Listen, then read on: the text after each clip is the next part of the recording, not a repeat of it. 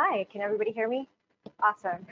Uh, so just a quick show of hands, how many in the room have some sort of PM quality assurance process?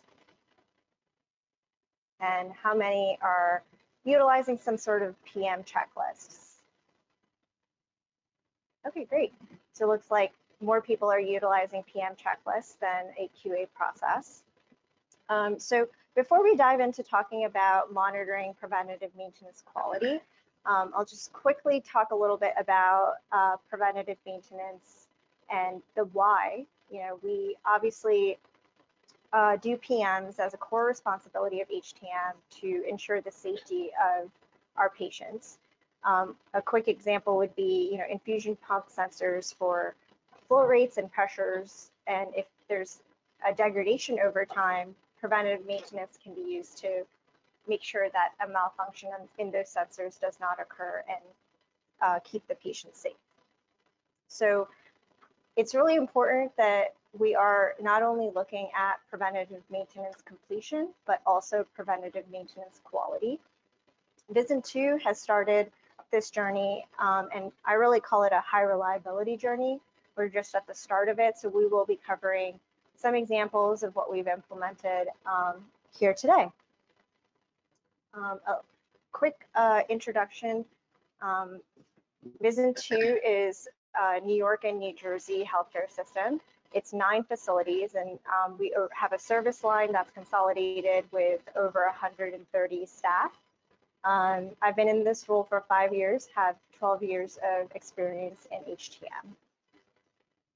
Everyone, my name is Michael Price. Um, I'm the supervisor for the Finger Lakes VA. I've been doing that for about four years now. Um, started as entry level tech in 2007 and just over the years kind of worked myself up into the VA as a supervisor. Um, some of the things I like to implement in my department are we have a strong focus on KPIs and patient safety. So this uh, slide talks about preventative maintenance quality lifecycle. So at the top, you start out with reviewing your service manual. And that's when you're going to identify the preventative maintenance manufacturer requirements, including the frequency and the PM tasks. Uh, in prior to our uh, journey, we were looking at the service manual in OneSource, and we were identifying the frequency during the intake of the asset, and we were implementing some sort of PM schedule and maintenance definition in our new Nuvolo CMMS. We've actually evolved, and now we actually document an intake. Um, this intake is evaluating what the OEM PM frequency should be. So we don't just program the PM schedule automatically in the CMMS. We have a CMMS admin that inputs in a field called OEM PM frequency what the frequency should be. So this allows us to do a mismatch report of what assets have the wrong OEM PM frequency. We do document the uh, devices that do not have a frequency requirement. So we document that as none. In some cases, manufacturers may not specify the periodicity. They might say periodic. In those cases, we will have a work group discussion and we will come up with what the standard for our organization should be. So we may uh, look at um, the CAP requirements or um, you know, work order history to try to determine should we be doing triennial or annual in those cases where the manufacturer does not specify a frequency. So after that is inputted, um, we have our PM uh, work group that also reviews and determines the PM checklist. So this checklist is then implemented uh, into our CMMS. Um, so we use Nuvolo. We will come up with the trigger conditions. So depending on if the checklist was created with the equipment category in mind or if it's model specific, we will set those uh, trigger conditions. Um, after that time, uh, the PM, of course, uh, checklist is implemented. Um, we generate the PM checklist on the PM work orders automatically. And a subset of those PMs are also having QA work orders generate. So these QAs are reviewed by the manager to look for um, whether the service manual has been revised and basically evaluate whether the tasks, the documentation, and the PM sticker on the device are all aligning when they're uh, completing the QA resolution of pass or fail. So, you know, that immediately uh, can tell you that this is a, a complex life cycle. We, we have to kind of keep up with service manual revisions. Um, we also are trending the QAs to identify, you know, are there process issues? Are there um, training needs that need to be uh, addressed?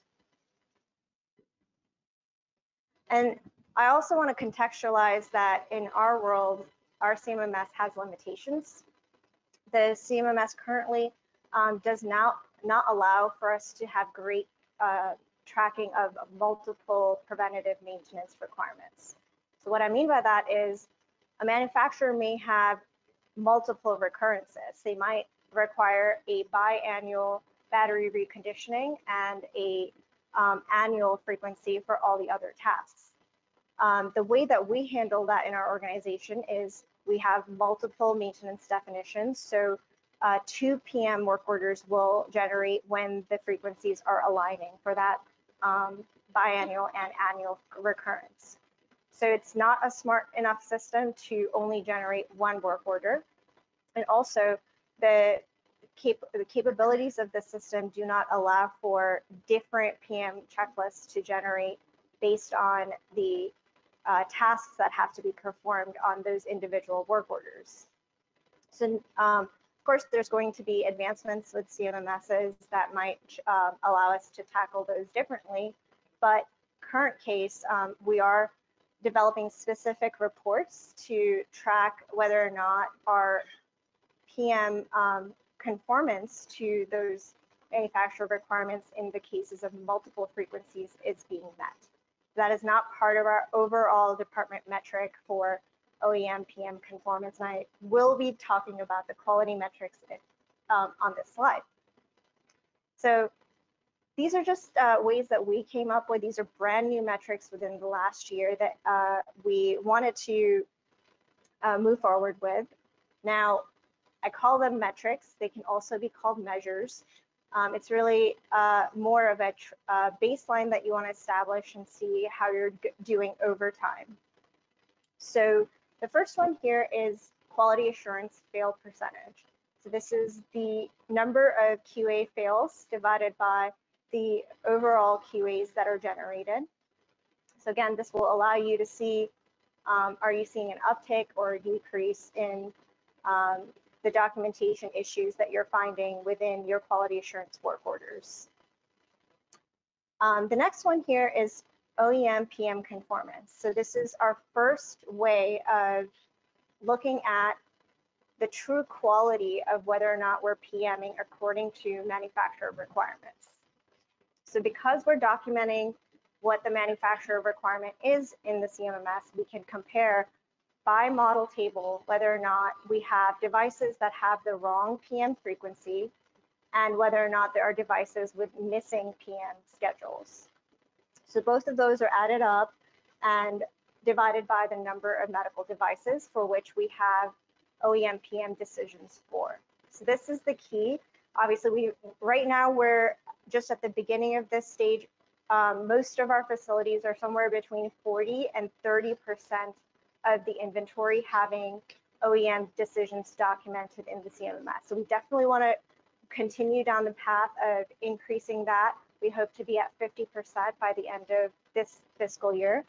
Um, and we're prioritizing which categories we want to do decisions on. So we started off with high risk.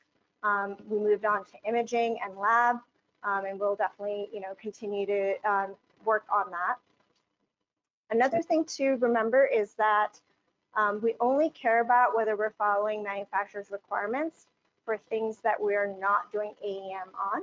So any AE devices on AEM are excluded from this conformance measure. This is great um, because we can holistically say to a department, oh, you're not meeting the 95% target for E OEM PM conformance. We would like you to come up with a plan to improve. Um, and it's, you know, a good way to, you know, again, making sure we're meeting a quality measure.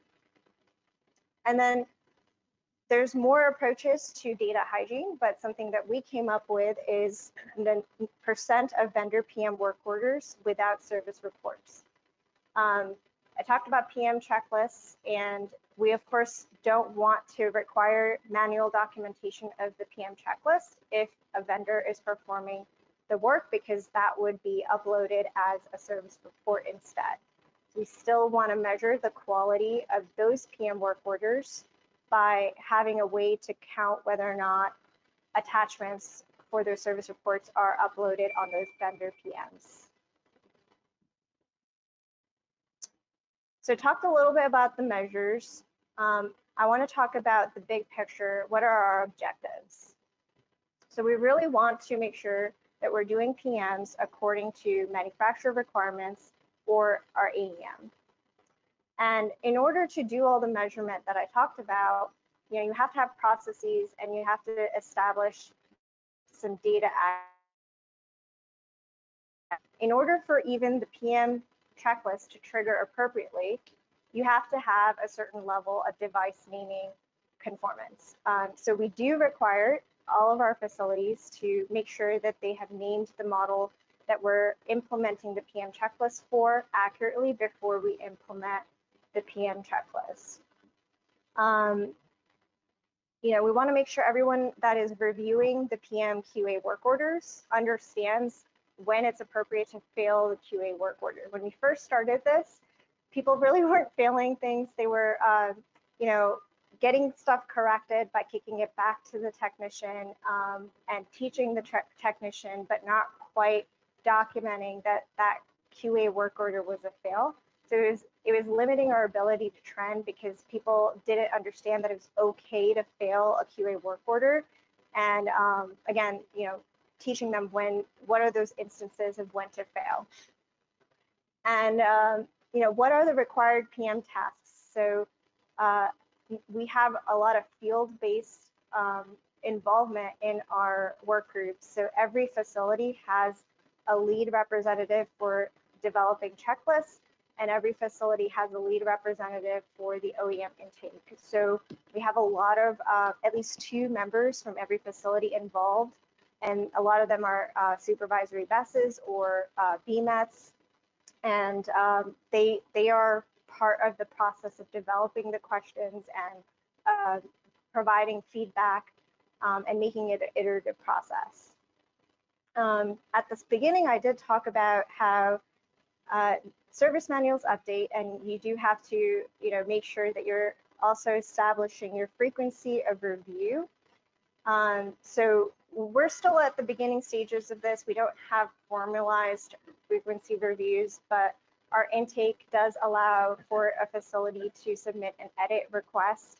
Um, so we're, you know, still beholden to kind of um, uh, a root, gra grassroots approach where uh, when a uh, technician would review one source and see that there are differences with now what the manufacturer is requiring, that they would alert their supervisor and the intake would be submitted.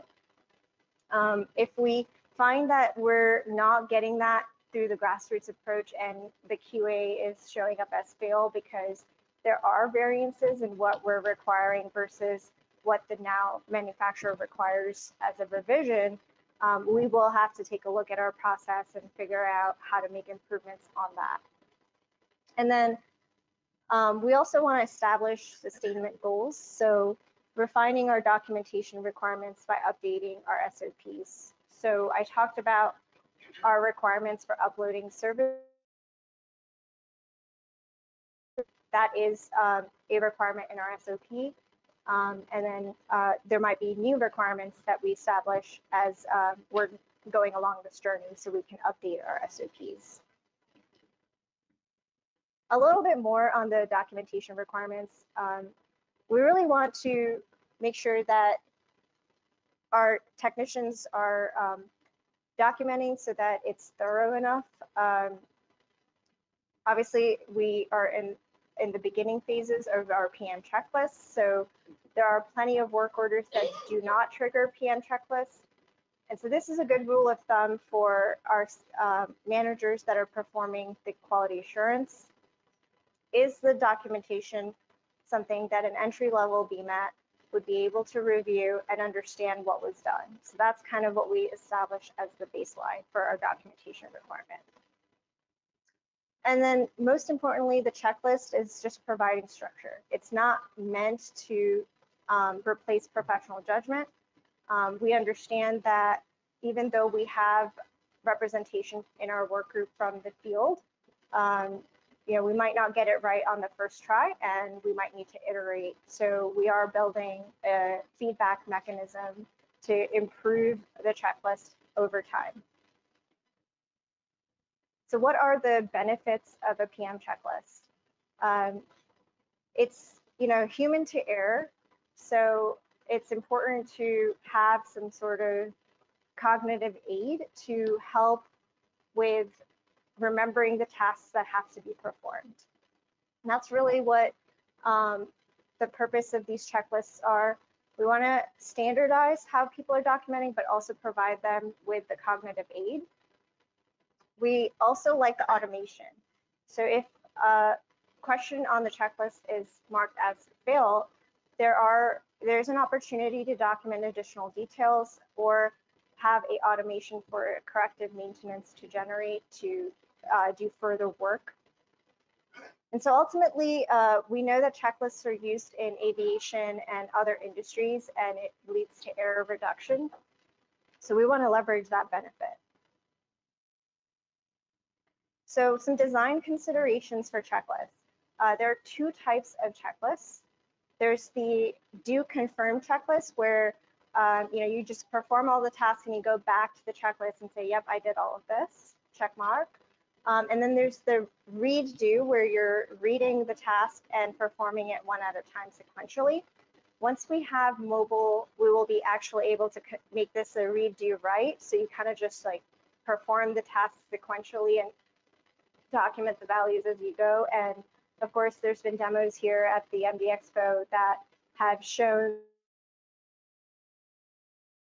information to documenting um, so you don't have to manually uh, document. And things to remember in terms of uh, considerations, um, you want to keep it brief. Um, we uh, hope that we can develop uh, checklists that are about five to nine items um, this might not be possible because we do have to adhere to manufacturer requirements, um, but people really do like it if the checklists are brief. There, we need to uh, think about the clarity of what we're asking. Um, are there units in how we want to be documenting? Um, if we can specify an input type, true, false, um, it, it is really helpful. We, we try to do default um, responses as well to provide clarity there. Um, another uh, benefit would be uh, using, you know, readable forms. I think all the CMSs out there have different ways of doing it. So I'm just, you know, putting this out there. Um, wasn't really a challenge with our CMMS. Um, it uh, and then the task types. Uh, you might want to uh, collect qualitative information, but again, being clear about what kind of information you want checked, cables or um, you know visual damage. So giving some clarity on what you're uh, asking for is important. So there might be some challenges to the adoption of your checklists. Um, starting with resistance to change, um, people may perceive uh, checklists as an insult to their expertise um, and their autonomy. They might be worried about is this an oversimplification um, and what you know negative consequences could result.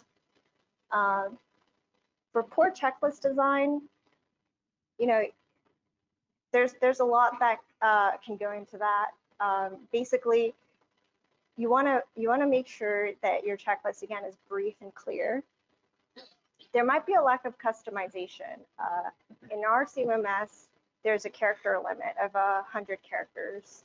Um, what we found uh, is sometimes with uh, medical device incident investigation checklists, there wasn't enough, uh, you know, characters for people to document. So we were brainstorming how to, you know, tackle that challenge. Um,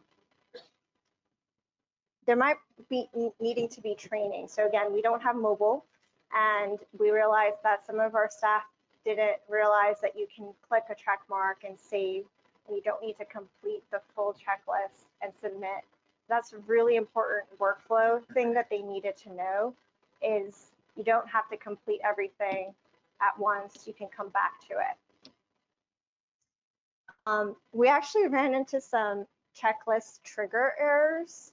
Um, in our workflow, we discovered if people were um, documenting the resolution code and going directly to pending documentation state, um, it was possible for the checklist to not trigger if it was not generating off of the work order type. So as we discovered these challenges, we were able to um, work around them, but just something to be cognizant of. Um, you know, your CMMSs are all uh, built under certain assumptions and you may run into challenges. So this is some of the things that we did um, in order to increase the adoption of our PM checklists.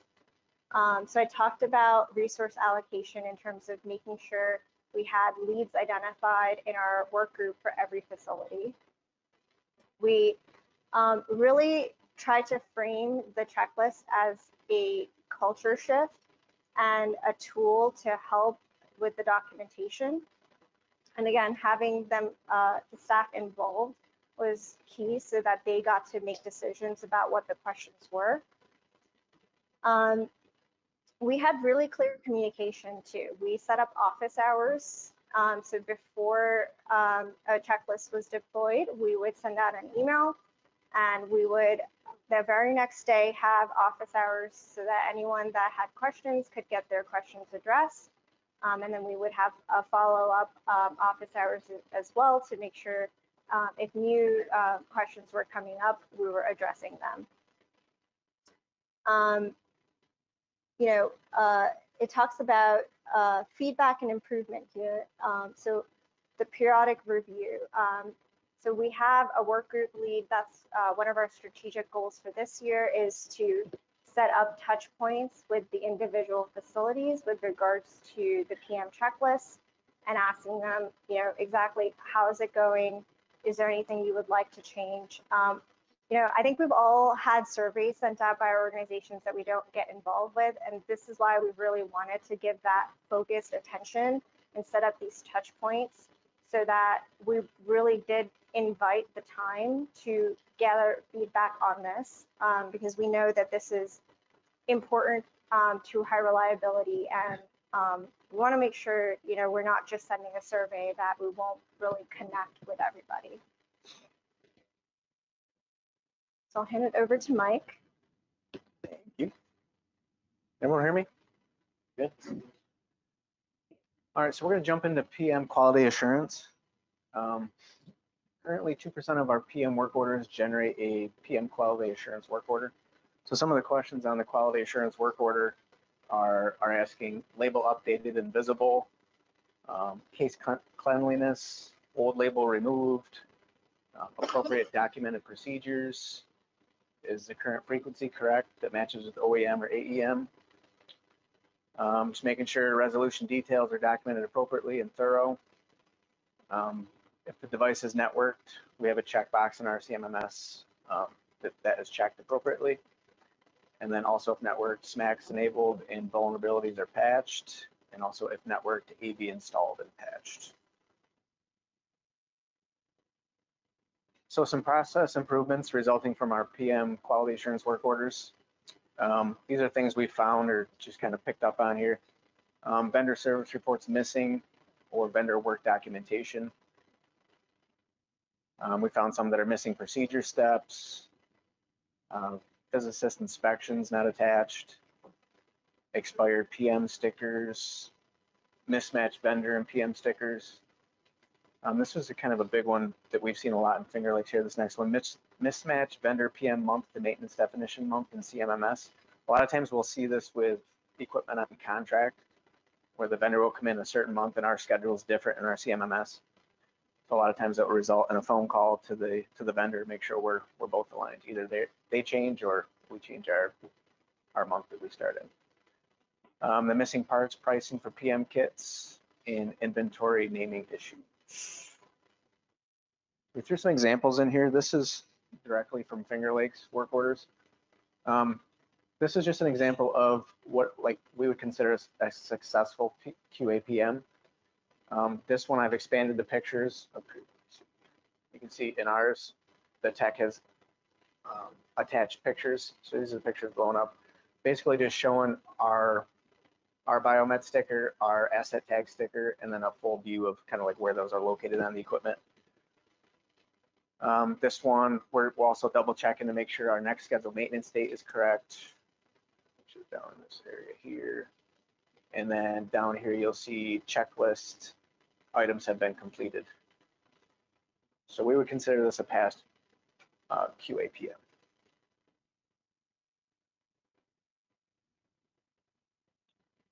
So going back, this would be, this is just showing a, an actual PM that the tech has done. And so we're doing the QAs, we re, we refer back to the original PM.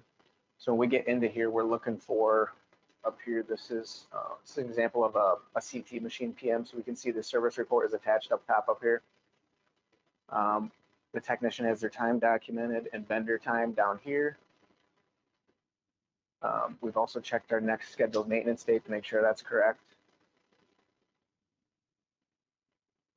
So this will be, this would also be a pass.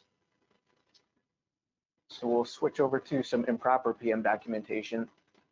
So this one was caught on a portable x-ray PM um, on a QA work order.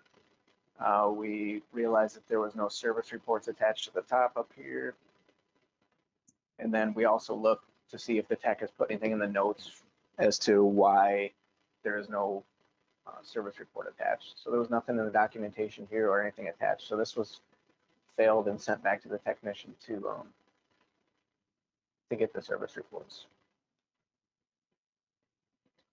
Um, here's an example of one of the checklists we've imp implemented so far in Finger Lakes. Uh, this is for a C800 overhead um, lift. Uh, the checklist was built off the manufacturer specs. Um, this is a NCPS, the National Center of Patient Safety requirement. So in the past, we haven't been attaching our form to, to work orders. Um, so this kind of makes it easy that this is built right into the work order, so we can't bypass it, and everything in there is uh, all the requirements are in there while doing the PM. Uh, as a result, our our documentation time has gone down. You know, we're not scanning scanning PDFs into the work orders. Um, another nice thing about this is if you do fail something, it will prompt you for an elaboration on why it failed. You can put your notes in there. So it's been working well for Finger Lakes. Um, here's another checklist example. Uh, this is for a centrifuge. This is for a an Allegra X12, I believe it was. Um, so we've just started implementing this for our centrifuges. This is nice. It's looking for expected time, expected time in seconds, and then your actual value, and then your expected speed tolerance, and then your actual speed results, and then your, your final pass or fail value. Um, this is required documentation for um, blood bank centrifuges per AABB. And again, this just ensures that the requirement is being met by the technician, make sure we're uh, not out of compliance here. And then again, with this one, if anything is marked failed or is out of spec, it will elaborate. You'll have to elaborate um, as to why it failed.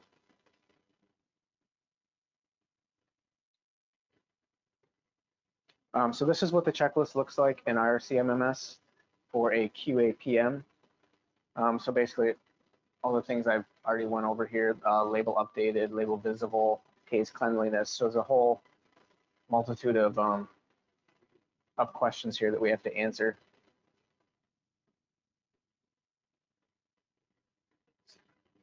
Sure. This this is only created on a percentage of work orders. Two percent, two percent of our PM work orders, yeah. I think when we first started Arleen, what it was hundred percent. And that was, Um, so yeah, we, uh, no, it was two percent, um, but it was hundred percent for incoming inspections. Uh, so we actually did custom development with Nuvolo in order to build this QA workflow. Um, it does automatically assign to your um, manager of the um, assignment group. That's kind of how it works. Um, it's uh, it's nice that uh, it's a separate work order um, and there is a parent-child relationship, so you're not allowed to close this work order uh, without uh, moving the child work order, which it was generated off of, which is the original PM work order, until that's been moved to closed.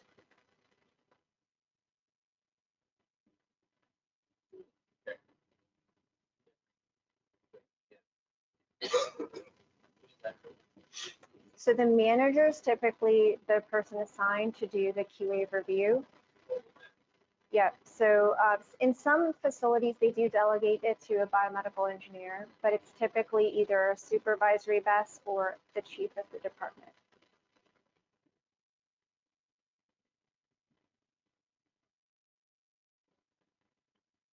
All right, so here is a, um, here's a picture of our RO, RO unit, and this was found on a PM QA that the, our equipment category here was incorrect. So the equipment category on this RO unit is a sterilizer unit steam, which is not correct. So this was a good one because this is important as far as if we're using OEM uh, frequency and for PMs, if we have something in there for a sterilizer that's maybe due quarterly, and maybe the RO unit is due annually, um, we're going to be off or vice versa even. We're missing PMs. So this was a good catch.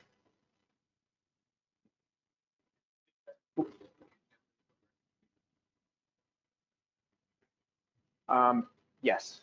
Yep, it would. So you can generate a work order. So in our case, we would fail the QA. It would come back to the, it would come back to the tech. At the VA, we don't do anything with our, our asset stickers. So that'll go to logistics, but yeah, so we would fail the PM, the, the tech would be notified to to make the corrections that are needed.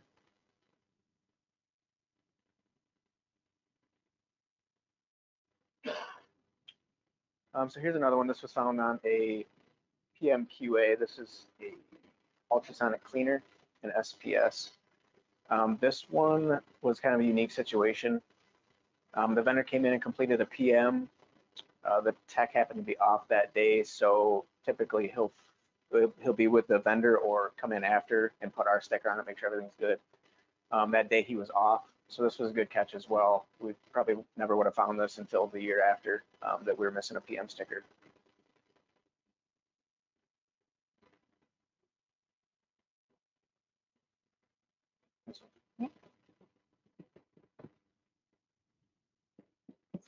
So, uh, you know, I just want to continue to uh, talk about is it, you have to keep to eva- evaluating your process and ask, you know, is is this still matching what the needs of the organization are? Uh, so right now, you know, we're loving the PM checklist. Um, we are also looking at products, um, you know, such as the Prompt Mobilize and um, different vendors to see if there are elements of our process that can be automated. Um, so that's really the take-home message from this slide is um, you want to look at your checklists and inspections and ask, you know, are they being managed? Are they being um, um, executed according to your organization's wishes? So we do have reports that we look at to see how many fails we captured for certain pass-fail inputs on the checklist. Um, we are evaluating the use of the checklist. Um, for example, initially our incoming inspection checklist um, was triggering off of the problem cause. So there was a different checklist for loaner incomings versus um, regular uh, equipment that you know we own in the facility. What we found was that people weren't paying close enough attention when um, they were filling out the question on the checklist about uh, the next maintenance date for a loaner work order. So you know, we really had to redesign that checklist for an incoming workflow. Um, kind of the same applies. You, you do have to audit what values you're collecting from your checklist. And this is elaborating on the bypass issue that I mentioned earlier. So, you know, we, like I said, we do have reports that are broken out by month and look at the things that are pending or completed um, to see if there are any process issues that we need to address. Um, we did set up a monitor to determine if our checklist did not trigger um, to manage this uh, workflow issue that we found. And we educated our staff during office hours about what we expected them to do. Um, so there, we have submitted intakes into our operations and maintenance contract to help us um, find a permanent solution as well. So that concludes our presentation and we'll take any questions that you guys have.